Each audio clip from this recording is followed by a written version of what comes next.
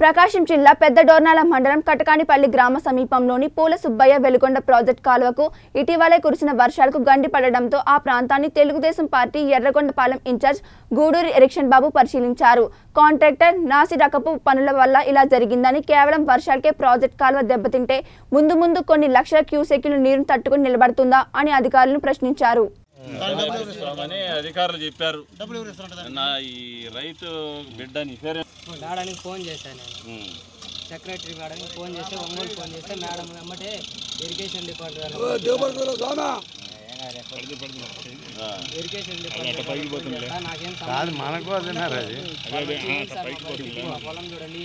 నిన్న ఉదయం దాకా నీళ్ళు బారినాయి సార్ అలా చూడండి. ఉదయం కూడా ఈ గారితో కూడా అలా మాట్లాడాను బారాయి సార్ అంటే వాళ్ళు ఒరిసా అడ్డం వేసుకోమని చెప్పారు సార్. వేసుకుంటే ఆగుతుంది నీకు ఎస్టిమేషన్లోనే ఎస్టిమేషన్ వెలుగొండ ప్రాజెక్ట్ కాలువల ఎస్టిమేషన్లోనే ఆ, ఒక రాంగ్ ఎస్టిమేషన్ జరిగింది ఇక్కడ. కొన్ని చోట్ల ప్రాంతాల్లో కొండ మీద కొండ మీద పడినటువంటి నీళ్ళు మొత్తం ఒక్కసారి ఫోర్స్ ఇటు వచ్చేస్తుంది జరగాల. నేను ఈ గారితో అడిగిన తర్వాత ఆయన అన్నాడు మళ్ళీ నేనుండి వర్కింగ్ ఎస్టిమేషన్ వేయకూడదు అంటే సార్ అని చెప్పి పొద్దున మాటలు వేసి పంపించాము సార్. అవి కూడా వస్తే ఇప్పుడు కట్టిస్తాము అని వాళ్ళు కూడా చెప్పడం జరిగింది. కానీ ఈ ప్రాజెక్టు నిర్మాణంలో కానీ ఎందుకనో దీని దురదృష్టం అంటే తెలుగుదేశం పార్టీ మా నాయకుడు నారా చంద్రబాబు నాయుడు గారు శంకుస్థాపన చేసినారనే ఒక కక్ష ఏంటంటే ఈ రాష్ట్రంలో బాబు గారు చేసినటువంటి మంచి పనులన్నీ కూడా ఇప్పుడు ప్రజావేదిక కూల్చివేయటము. అమరావతిని డిస్టర్బ్ చేయటం ఇవన్నీ ఉన్నాయి. దాంట్లో భాగం ఇది కూడా అనుకుంటున్నాం. ఎందుకంటే తెలుగుదేశం ప్రభుత్వంలోనే ఇక్కడ రాయేసింది. ఇక్కడ శంకుస్థాపన జరిగింది టీడీపీ గవర్నమెంట్లో. ఇలాంటి కక్షపూరితమైనటువంటి మిగతా వాటి మీద పెట్టుకోవచ్చు కానీ ప్రజలకు ప్రాణాధారమైన నీరు. ఈ నీరు రైతులకు సంబంధించింది ప్రజలకు సంబంధించిన అంశం కాబట్టి వీటి మీద కక్ష ధోరణి కాకుండా ప్రజల అవసరాల దృష్ట్యా రైతుల సాగునీరు అవసరాల దృష్ట్యా దీన్ని దీంట్లో ఉన్న లోపాలను గుర్తించి ప్రభుత్వం వెంటనే చర్యలు తీసుకోవాలని చెప్పేసి కోరుకుంటాం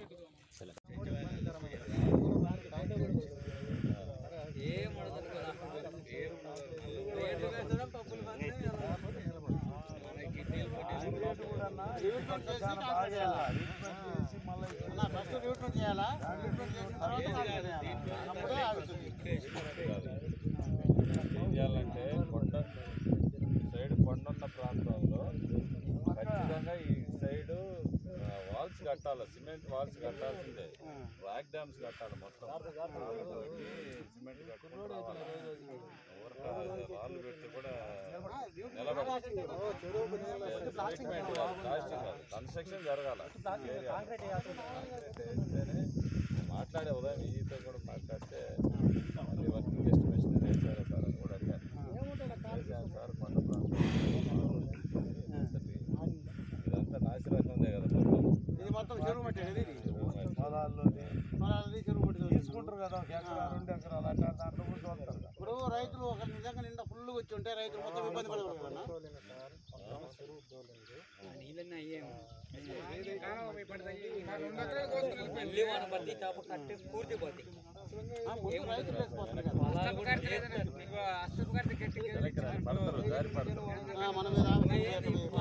నాణ్యత లేనటువంటి నిర్మాణాల వల్ల ఈరోజు రైతులు గ్రామాలు మొత్తం కూడా భయభ్రాంతులతో జీవిస్తున్నటువంటి పరిస్థితి మేము ఇక్కడ ప్రత్యక్షంగా చూడటం జరిగింది.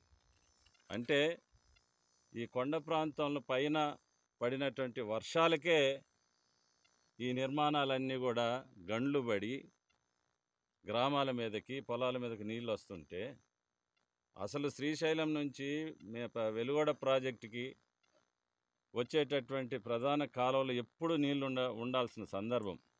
రేపు కానీ వెలుగొండ ప్రాజెక్టుకి నీళ్ళు వదిలితే ఈ ప్రాంతాలన్నీ కూడా జలమయమైపోయి లోపభూయిష్టమైనటువంటి నిర్మాలన్నీ కూడా కొట్టుకొని పోయి ప్రజలు పొలాలన్నీ కూడా వారికి సంబంధించిన ఆస్తులన్నీ కూడా మరి ధ్వంసమయ్యేటటువంటి పరిస్థితి భవిష్యత్తులో ఉంటుందని చెప్పేసి ప్రజలందరూ కూడా చాలా బాధపడుతూ ఉన్నారు. అందుకనే ప్రభుత్వానికి గత కొద్ది రోజులుగా కొన్ని మాసాలుగా మేము ఈ వెలుగొండ ప్రాజెక్టులో జరిగినటువంటి అవినీతిని అక్రమాలని లోపభూయిష్టమైనటువంటి నిర్మాణ నిర్మాణాలన్నిటి మీద కూడా మేము ప్రభుత్వం దృష్టికి తీసుకొస్తా ఉన్నాం. నంబర్ వన్ కొల్లం వాగు మీద నిర్మించినటువంటి షట్టర్స్ లీకేజ్ కావటం. అది మేమందరం కూడా పోయి చూసాం ప్రభుత్వం దృష్టి తీసుకెళ్ళిన వెంటనే మరి దాన్ని ఆ లీకేజ్ని ఆపటం జరిగింది. అధికారులు నిమ్మక నీరెత్తినట్టు ఉంటున్నారు ఈ ప్రజల పట్ల రైతుల పట్ల. మరి కొండలున్నటువంటి ప్రాంతంలో ఆపోజిట్లో నిర్మించినటువంటి యొక్క ఈ నిర్మాణాల మీద కింద నుంచి కూడా రో రోలర్స్ తిప్పకుండా. లేదు సిమెంట్ తోటి రాతి కట్టడాలు కట్టాల.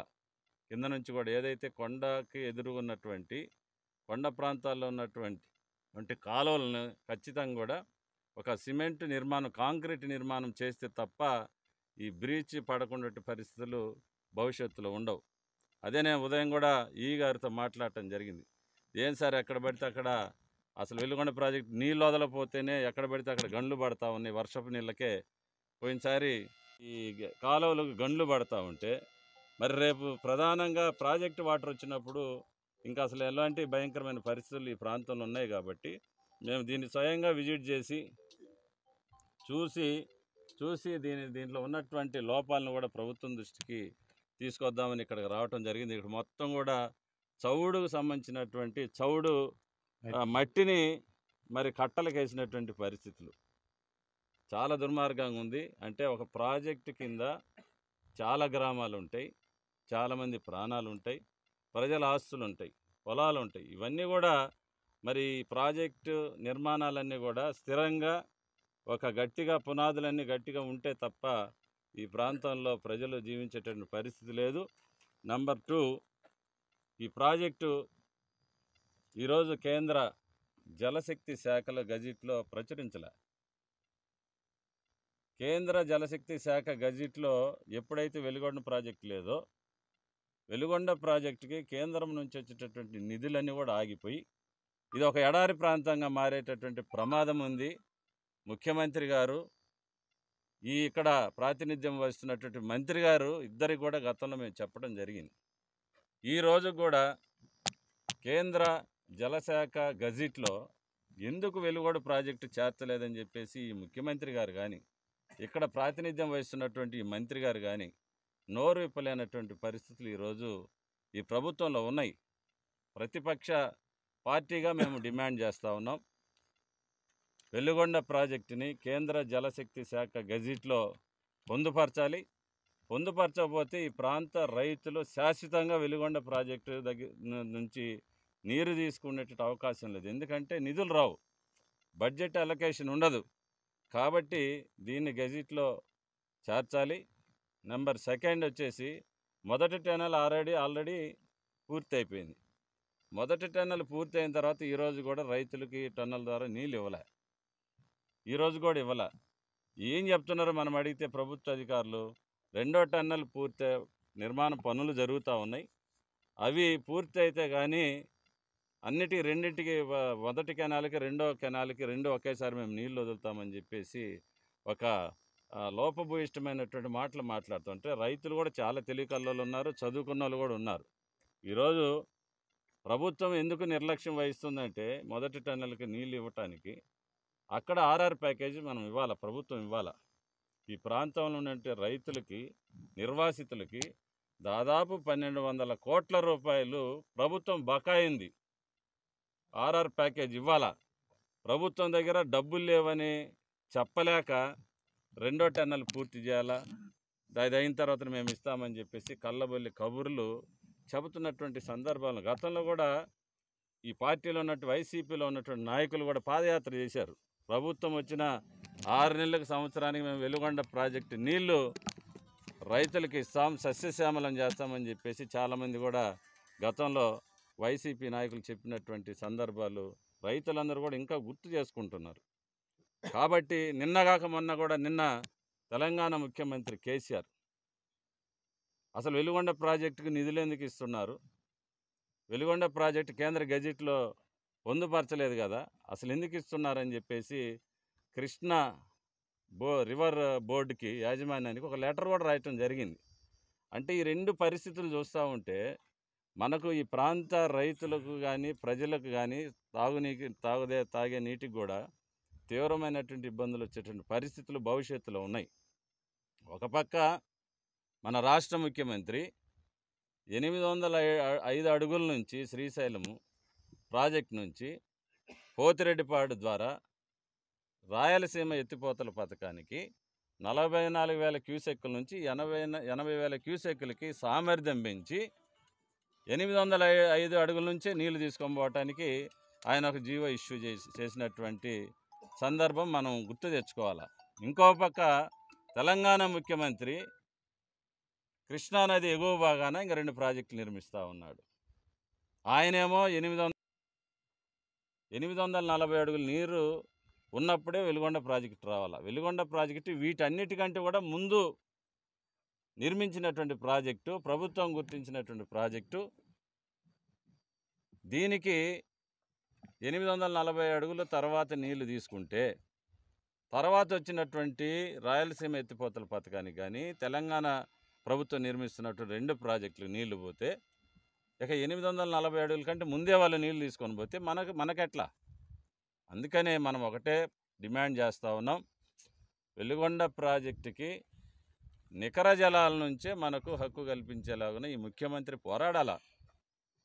ఇంత భయంకరమైనటువంటి పరిస్థితులు ఈ ప్రాంతంలో రైతు కానీ రైతాంగం కానీ ఈ ప్రభుత్వానికి ఇక్కడ ఉన్నటువంటి వైసీపీ పార్టీకి ఈ ప్రకాశం జిల్లాలో పశ్చిమ ప్రాంతంలో గిద్దలూరు కనిగిరి అదేవిధంగా మార్కాపూరు ఎర్రగొండపాలెం వేల వేల మెజార్టీతోటి ఈ ప్రాంత ఎమ్మెల్యేలను గెలిపించినటువంటి విషయము ముఖ్యమంత్రి గారు కానీ ఈ ప్రాంతంలో ప్రాతినిధ్యం వహిస్తున్నటువంటి మంత్రి గారు కానీ గుర్తుపెట్టుకోవాలని చెప్పేసి మేము కోరుకుంటా ఉన్నాం. ఎందుకంటే ఎన్నో ఆశలు పెట్టుకొని వెలుగొండ ప్రాజెక్టు పూర్తి చేస్తారని చెప్పేసి మీ మీద విశ్వాసంతో ప్రజలందరూ కూడా ఓట్లేసి మిమ్మల్ని ఎమ్మెల్యేలు మంత్రులను చేస్తే ఈరోజు కనీసం వెలుగొండ ప్రాజెక్టు గురించి మాట్లాడేటటువంటి పరిస్థితి ఈ ప్రభుత్వంలో లేదు ఈ నాయకుల్లో లేదు కాబట్టి చూడండి గండిపడ్డది ఒక మామూలుగా వర్షపు నీటికే కాలువల ప్రధాన కాలువ గండిపడితే రేపు అసలు వాటర్ వదిలిన తర్వాత అసలు ఇంకా పరిస్థితి ఎట్లా ఉంటుందో మీరు ఊహించుకోవాలని చెప్పేసి నేను ప్రభుత్వాన్ని ముఖ్యమంత్రి గారిని మంత్రి గారిని అదేవిధంగా ఇక్కడ ఉన్నటువంటి వెలుగోడు ప్రాజెక్టు కన్స్ట్రక్షన్ సంబంధించినటువంటి అధికారులందరినీ కూడా నేను డిమాండ్ చేస్తూ ఉన్నాను. దీని మీద దృష్టి పెట్టండి. ఈ ప్రాంత ప్రజలు మీ మీద ఎంతో నమ్మకం పెట్టుకున్నారు. ఓట్లేశారు. కనీసం గండి పెడితే ప్రతిపక్షంగా మేము వచ్చాం కానీ ఇక్కడ ఉన్నటువంటి మంత్రులు కానీ ఇక్కడ ఉన్నటువంటి ఎమ్మెల్యే కానీ ఎవరు కూడా అంటే వెలుగొండ ప్రాజెక్టు వైసీపీ ప్రభుత్వానికి పట్టినట్లేదు. కాబట్టి ఇవన్నీ కూడా మీ దృష్టికి తీసుకువస్తూ ఉన్నాం. భవిష్యత్తులో వెలుగొండ ప్రాజెక్టు ఎడారిగా మారేటటువంటి ప్రమాద ఘంటికలు మోగుతున్నాయనేది ఇప్పుడున్నటువంటి ఈ ప్రభుత్వ చర్యలు కానీ కేంద్ర గజెట్లో లేకపోవటం కానీ ఇవన్నీ కూడా మాకు అను అనుమానాలు మరి రేకెత్తుతున్నాయి. వీటన్నిటి కూడా నివృత్తి చేయాల్సిన బాధ్యత ఈ రాష్ట్ర ముఖ్యమంత్రికి ఉంది ఈ మంత్రికి ఉంది. కాబట్టి మరి మీరు దీని పట్ల శ్రద్ధ వహించి వెలుగొండ ప్రాజెక్టు నిర్మాణంలో ప్రధాన కాలువలు అయితేనేమి షట్టర్స్ అయితేనేమి ఇంకా గ్రామాలకి పొలాలకి మరి కమ్యూనికేషన్ ఉన్నటువంటి బ్రిడ్జెస్ కానీ ఇవన్నిటిని కూడా ఒక్కసారి తరోగా అధికారుల ద్వారా మీరు ఎంక్వైరీ చేయించండి. ఇప్పుడు ఈ ప్రధాన కాలువల్లో కూడా విపరీతంగా జంగిల్ ఉంది పూర్తిగా చిల్ల చెట్లు చిల్ల చెట్లు మయమైపోయి ఉన్నది వీటన్నిటిని కూడా ఒకసారి మీ దృష్టికి తీసుకొని వస్తున్నాం. మేము ప్రతిపక్షంగా మరి మా నాయకులందరూ కూడా మా నాయకులు ఈరోజు దీని మీద మా ఎమ్మెల్యేలు ఏలూరు సాంబశివరావు గారు కానీ గొట్టిపాటి రవికుమార్ గారు కానీ మరి బాల వీరాంజనేయ స్వామి గారు కానీ అదేవిధంగా మన పార్లమెంట్ ప- ప- అధ్యక్షులు నూకసాని బాలాజీ గారు ఈ జిల్లాలో ఉన్నటువంటి మాజీ ఎమ్మెల్యేలు అందరం కూడా దీని మీద ఫైట్ చేస్తూ ఉన్నాం. మరి కందుల నారాయణ రెడ్డి గారు లే ఆయన లీడర్షిప్లు ఈ మధ్య ఒక ఐదు రోజులు మేమందరం కూడా దీక్షలు చేయటం కూడా జరిగింది వెలుగొండ ప్రాజెక్టు గురించి. కాబట్టి ప్రభుత్వం దీని మీద వెంటనే స్పందించి ఈ ప్రాజెక్టుపై ప్రజలకు రైతులకి ప్రతిపక్ష